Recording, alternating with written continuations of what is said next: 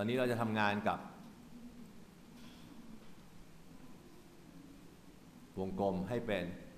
เนื้อหาของ background โลโก้เราก็ลาก guideline มาทาบ ได้ยัง ได้เนาะลองใช้เส้นตรงฮะอย่างง่ายเลย line segment ฮะลากผ่าน guideline ให้ตรง กด shift เอาไว้ฮะจะได้เส้นตรงเป๊ะๆอย่างเงี้ย ให้เส้นมันทับตรงกลางพอดีนะฮะ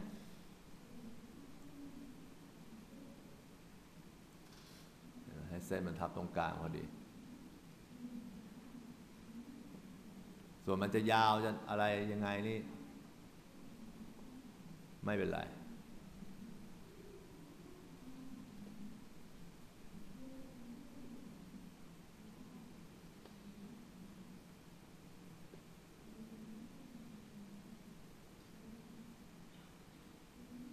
ถ้าจะให้ง่ายนะฮะ ปรับขนาดของเจ้าตัวนี้ให้มันพอดีกับขอบ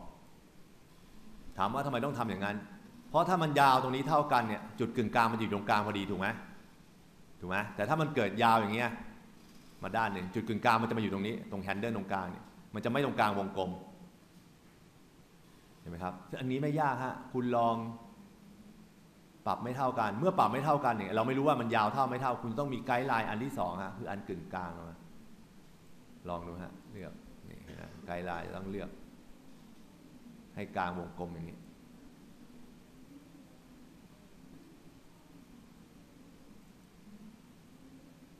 เห็นไหมให้กลาง กลางที่ยังไม่รู้อะซูมเข้าไปดูเออยังไม่กลาง วันนี้ค่อนข้างต้องเป๊ะนะ เรื่อง guideline เรื่องอะไรพวกนี้เห็นไหมคล้ายเป้าปืนน่ะครับที่ตรงกลางแล้ว จ้านี่กลางหรือยังเจ้านี่ก็กลางแล้ว เหลือเจ้าเส้นเนี่ยกลางหรือยังคลิกดูให้เส้นมันทับ ผมบอกอะเหลือ 0.25 ไปนี่ 0.25 ก็จะเห็นชัดเจนว่าเส้นมันยังไม่ทับ ให้ทับไกด์ไลน์เห็นไหมที่เลือกเส้นเล็ก ๆ นี่คือให้รู้ว่าแนวเส้นเนี่ยตอนนี้อยู่ตรงกลาง guideline แล้ว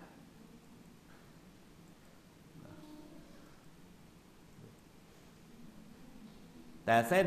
ไม่กึ่งกลางถูกไหมไม่กึ่งกลางไม่เป็นไรเพราะว่าการหมุนของเส้นเนี่ยมันสามารถหรือ transform ในการหมุนอะมันกำหนดจุดกึ่งกลางได้ ตอนนี้ขอให้มีเส้นทับตรงกลางนะฮะตรงจุดกึ่งกลางของเส้นไม่มีปัญหา เดี๋ยวเราจะให้มันหมุนเป็นใบพัดอย่างเงี้ยนะครับเอาเราทำอะไรกับมันอะดู ตอนนี้ได้เส้นแล้วนะ ไปเลือกเครื่องมือ rotate ตัวนี้ rotate tool เห็นไหมฮะ rotate tool มันก็จะเกิด ตอนนี้เราดันเลือกไกด์ไลน์ไว้เห็นไหมเราเลือกเส้นโทษนะเลือกเส้น อย่าเลือกไกด์ไลน์นะเลือกเส้น พอเลือก rotate tool ปุ๊บคุณจะเห็นกึ่งกลางมันอยู่ตรงนี้ กึ่งกลางของเส้นถูกไหมฮะวิธีการกำหนดกึ่งกลางให้กับวัตถุให้กด alternate ค้างเอาไว้ฮะแล้วมาคลิกบริเวณกึ่งที่เราต้องการให้เกิดกึ่งกลาง เลือก rotate tool นะกด alternate ทำตามนี้แล้วก็มาคลิกบริเวณกึ่งกลางตัวนี้ มันจะเกิดตัวนี้ขึ้นมาให้เลยฮะ dialog box ตัวนี้คือว่า จะหมุนไปกี่องศา ห็นไหมจะหมุนไปกี่องศา โดยจุดกึ่งกลางที่เรากำหนดคือจุดที่เราเอามาคลิกครั้งเดียวเนี่ย เพราะฉะนั้นถ้าใครทำแล้วมันไม่ตรงทำใหม่ฮะ ไปเลือกที่เครื่องมือ rotate tool กด alternate แล้วมาคลิกจะเกิดอย่างนี้ ถ้าคุณกดผิดกด alternate มาคลิกตรงนี้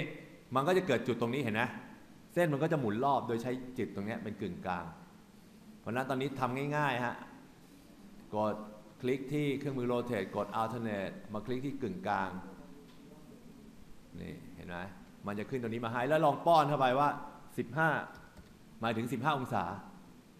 preview เส้นมันต้องหมุนกึ่งกลางไป 15 องศาแบบนี้ เห็นไหมถ้าได้แล้วกดเอา 15 เอา 30 30 preview ใหม่ นี่คือ 30 เห็นไหมครับ สั่ง copy ฮะ ได้ละ copy มันก็ได้เส้นที่ 2 ขึ้นมา โดยหมุนเป็นจุดกึ่งกลางนี้พอดีเลยเห็นไหมความยาวของเส้นไม่มีผล เพราะเรามากำหนดจุดกึ่งกลางเองได้ กด Ctrl D Ctrl D คือ duplicate ถ้า 30 มันจะหารลงตัวกับ 360 พอดี 15 30 45 อย่างเงี้ย90 60 75 90 อย่างเงี้ยได้อย่างได้ภานี้อย่างเห็นไหมฮะ เส้นไม่จำเป็นจะต้อง เท่ากัน หรือแค่แนวนี้ของเส้นคุณก็จะเห็นละ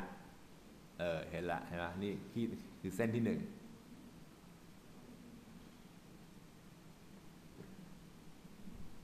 ทำไงฮะ สั่ง dy เลย ผมกด F7 ใช่ไหมนี่ใช้เส้นตรงง่ายๆฮะ เลือกทั้งหมดฮะ เอาไกด์ไลน์ออกก่อนเดี๋ยวกำหนดทีหลังจริง ๆ ต้องแยกเลเยอร์เป็นไกด์ไว้เลยฮะแต่ไม่เป็นไรคุณจะได้ฝึกวางไกด์ใหม่ ๆ ไปเรื่อยๆ อย่างงี้เห็นไหมนี่คือเส้น คุณลองสั่ง Alt Windows Show Path Finder ขึ้นมาใช่ไหมครับ สั่ง dy นี่คุณจะได้แบบนี้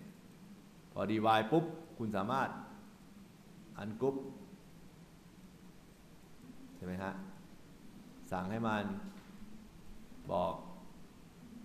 เปลี่ยนสีเป็นสีดำอย่างนี้เอ่อ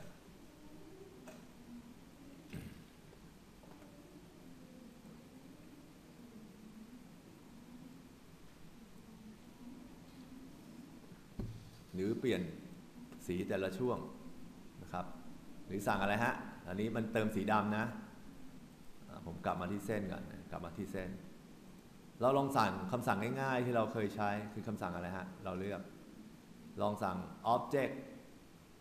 นะครับ part offset part ขึ้นมา ใช่ไหมบอก 2มิลลิเมตร preview เนี่ยจะได้แบบนี้ขึ้นมา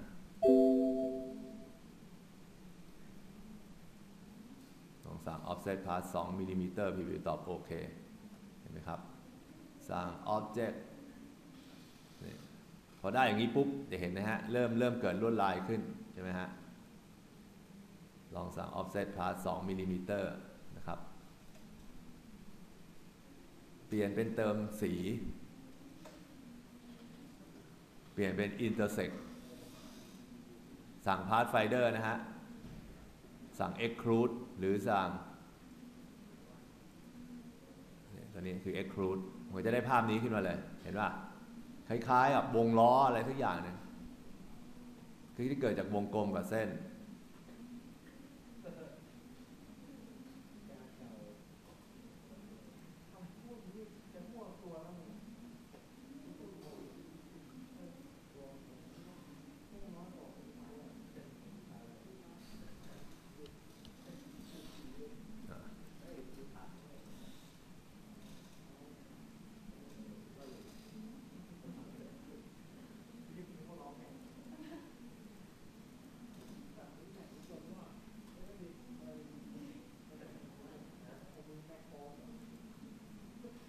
ถ้เราเพิ่มอะไรครับ point ของเส้นเข้าไปเป็นอย่างนี้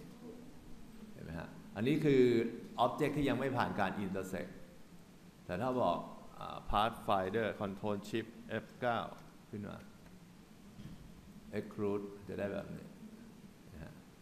ตำแหน่งจะต้องเป็นแบบนี้ นี่คือแบบแบบที่หนึ่งนะฮะ แบบที่หนึ่งมีการใช้ transform นะครับแบบที่สองที่เรา copy ไว้ลองดูนะฮะ แบบ ที่สองอันนี้ได้แล้วคุณจะเห็นนะฮะพอมันใช้ผสมผสานกันก็จะได้ภาพที่เอออย่างนี้ขึ้นมา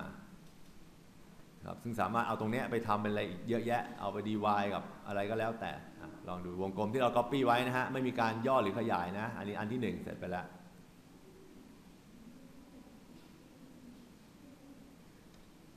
ซึ่งถ้ามารวมกับตัวหนังสือ ถูกไหมก็อยู่ที่ว่าการจัดสีแล้วนะครับนี่มารวมกับตัวหนังสือ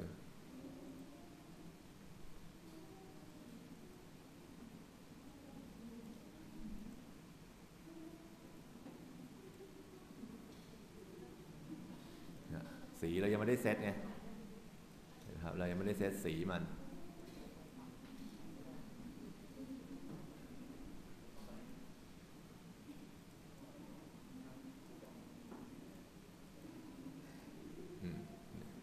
อะไรที่เฉยเฉยอะแนวเฉยเฉยแบบเนี้ยครับ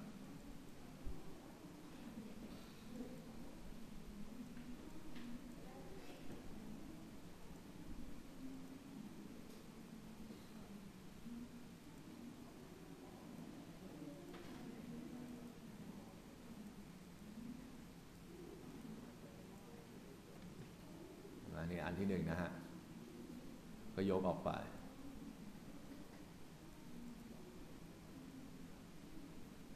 ต่อมานะครับจากตัวหนังสือแบบนี้ถ้าเกิดเราต้องการสร้างอีกแบบหนึ่งของวงกลม เราจะลองเริ่มจากวัตถุนะครับ Circle Copy ผมปิดอันนี้ก่อน Copy เอาไว้นะฮะ Copy ไว้ ลองสร้างวงรีขึ้นมาหนึ่งวงนะครับ โดยยึดจากกึ่งกลางของเจ้าตัวนี้ การจะยึดจากกึ่งกลางก็คือคุณต้องเลือก เลือกตัวนี้ก่อนถูกไหมอันนี้กรุ๊ปไว้นะ เลือกไว้เลยฮะกรุ๊ปไว้ เลือกวัตถุที่เป็นวงกลมเดิมครับจากนั้นไปเลือกเครื่องมือนี่วงกลมนั่นแหละ แต่เราจะทำเป็นวงรีเอามาทาบกับจุดกึ่งกลาง เอามาทาบกับจุดกึ่งกลางกด alternate แต่ไม่ต้องกดชิป ไม่ต้องกดชิป เห็นไหมฮะ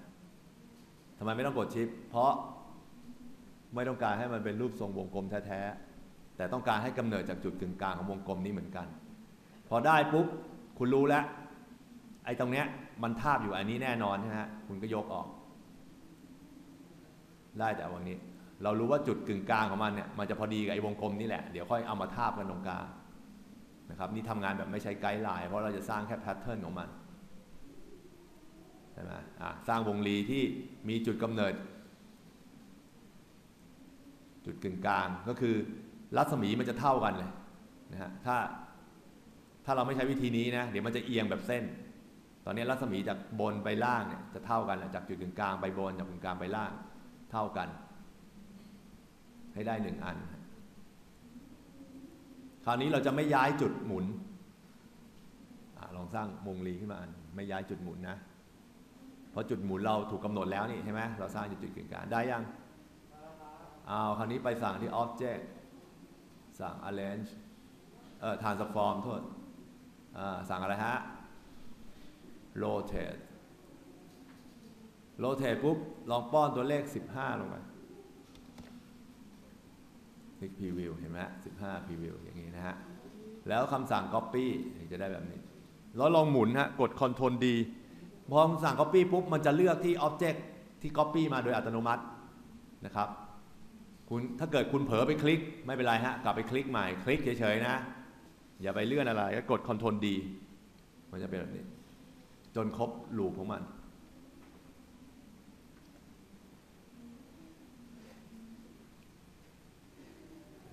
จะได้แบบนี้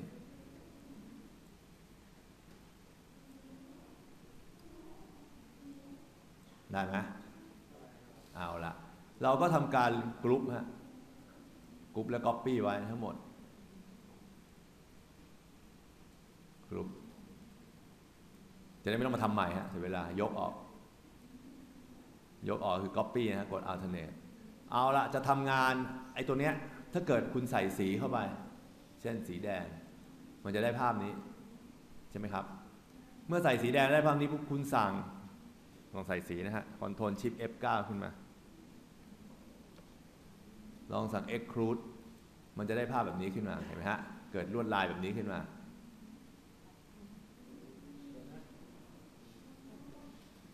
ไอ้ครูคือพอมันอะไรที่มันทับกันเกินสองชั้น มันจะโบ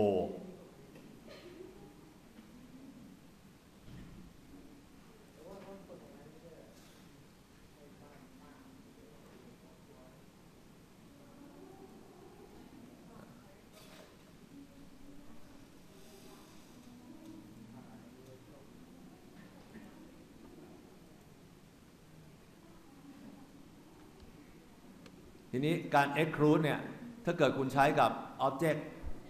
อื่นๆฮะ เช่นเอาวงกลมเข้ามานะฮะ มาอยู่ตรงกลางเหมือนกันนะฮะ ย้ายมาอยู่ตรงกลางเหมือนกัน จะอยู่ตรงกลางได้ก็เนี่ยลองเลือกแล้วลอง เห็นตำแหน่งตรงกลางมันอยู่แล้วก็ เอามาตรงกลางกึ่งกลางเลย เห็นไหมได้แบบนี้ แล้วคุณกดชิปค้างเอาไว้นะฮะ คลิกเลือก เลือกทั้งไอ้ที่ extrude ไปแล้วรอบหนึ่งกับวงกลมอีกครั้งหนึ่งเห็นไหมถ้าเลือกแล้วมันจะมีเส้นของของ path ของ object ทั้งหมดเลย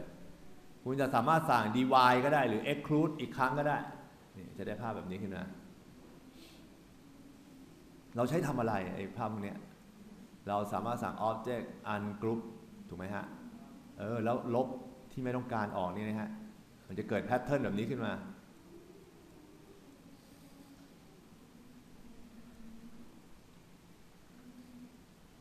ก็คือสลายความเป็นวงกลมธรรมดาออกไปเห็นไหมฮะทำอะไรได้ตั้งเยอะแยะใช่ไหมหรือสั่งสีเล็กสีแดงทั้งหมดเนี่ยลบ ลบแบบอันเว้นอันก็ได้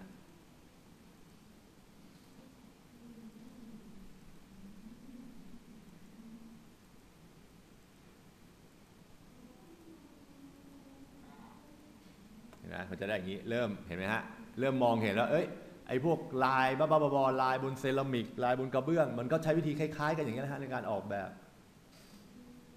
แล้วตรงกลางนี้ถ้าจะไม่เอาอะไรก็ลบไปอีก ไล่ลบไปถ้าเกิด รู้สึกว่ามันซับซ้อนไปเห็นไหมฮะผมไล่ลบออกไปหมดอะ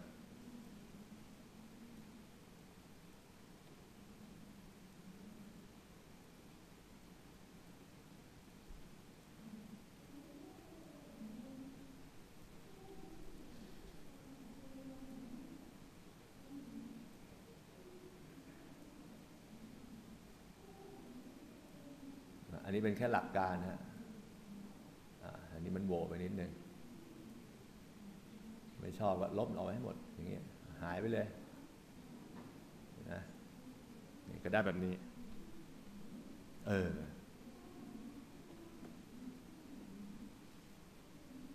นี่ได้ชั้นที่สองขึ้นมา ก็กรุ๊ปเอาไว้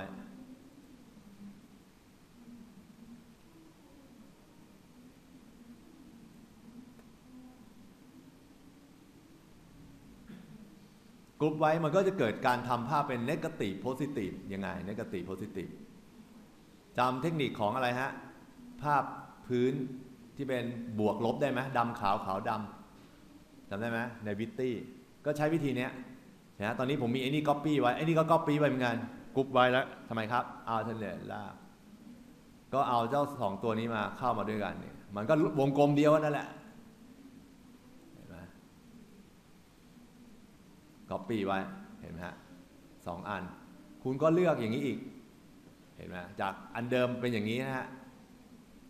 จากอันนี้ไปบวกกับวงกลมลบ เราอยากได้เป็น negative positive เอาเลยครับ เอาวงกลมเดิมมาทาบ เลือก ใช่ไหมครับ ลองสั่ง extrude เห็นไหมฮะ สั่ง extrude หรือ dy ก็ได้ ถ้าไม่เห็นภาพผมจะใช้วิธีนี้ ขอใส่สีตัวนี้ก่อน สมมติตัวนี้เป็นสีดำเห็นไหมฮะ คุณก็เลือกทั้งคู่ สั่ง extrude นี่พอ extrude ปุ๊บ คุณก็ยกมันออกมา อันกรุ๊ปก่อนเถอะ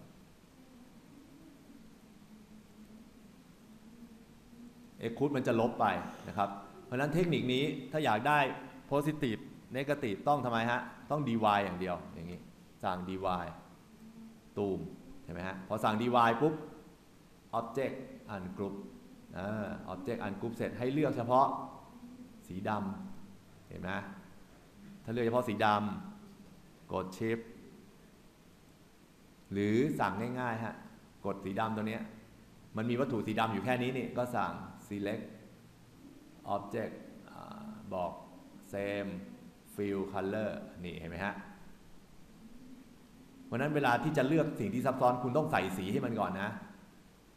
ส่สีมันก่อนแล้วสั่ง object select same color fill color เห็นไหมแล้วยกออก เห็นไหมนี่ก็จะได้สองแบบ แล้วจะเปลี่ยนสีอะไรก็ว่าไป สีน้ำเงินนะจะได้เห็นชัดๆ ไม่เกิดการเปลี่ยนสีใช่ไหมฮะ ต้องไปที่ fill ก็คือ สีสั่งเมนู window color อ๋อ มันขึ้นมาแล้ว ผมมองไม่เห็นโทษ color บอกตัวเนี้ย จำได้ไหมฮะเกสเกลเป็น RGB นี่ก็จะเกิดภาพพื้นแบบนี้ขึ้นมากรุ๊ปไว้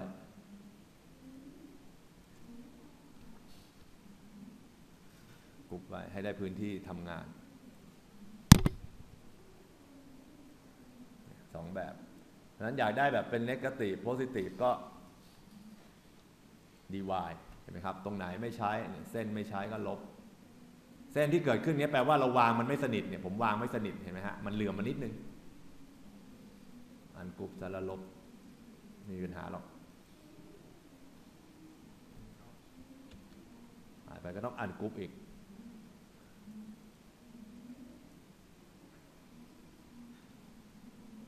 ถ้าวางไม่สนิทจะเกิดปัญหาอย่างนี้ แต่ปัญหาอย่างนี้ไม่ยากฮะ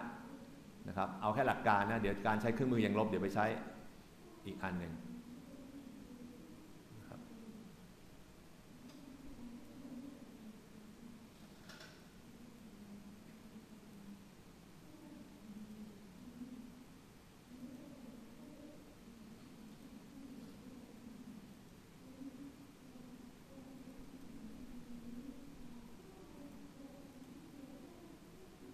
เนี่ยสามารถใช้เครื่องมือยัง ลบได้นะในกรณีที่มัน ungroup ไม่ได้แล้วนะครับก็ใช้เครื่องมืออยางลบ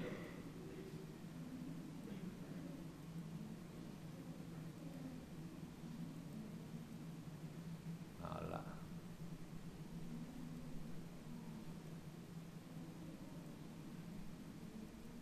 งั้นคอนเซปต์สำคัญของมันก็คือ เราเริ่มจากอะไรที่ง่าย ๆ นะครับ วงกลมสี่เหลี่ยมอะไรก็แล้วแต่สามารถสร้าง โดยการใช้ extrude extrude นี่คือมันจะลบที่โหวไปเลยนะครับ แล้วถ้าอยากได้พื้นผิวที่ไม่ใช่พื้นผิวพื้นที่ที่เป็นบวกลบแบบนี้ฮะ ต้องใช้ dy โดยการใช้คำสั่งพื้นฐานเลย transform rotate นะครับ move อย่างเดียวกันฮะมันจะเกิดการซ้ำเกิดการซ้ำแต่ถ้าเป็นเบลนเนี่ยก็คือวัตถุที่ซ้ำได้ถูกไหมเป็นสเต็ปแต่ข้อดีของเบลนคือวัตถุมันต่างรูปร่างกันได้ แต่ถ้าเป็นมูฟก็คือวัตถุชิ้นเดิมนะครับ วัตถุชิ้นเดิมที่เรียงไปจะมูฟไปทั้งบนทั้งเพราะฉะนั้นถ้าเกิดคุณเห็นอะไรที่เป็นเส้นแล้วทีทีทีทีอย่างเงี้ยใช้วิธีนี้ transform copy ไป move ไปเท่าไหร่ก็ว่าไปนะฮะหรือ rotate ไป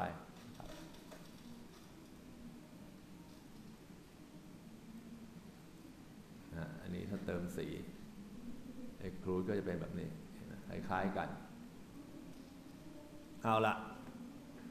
สำหรับการ transform เอาไว้หลักการแค่นี้นะ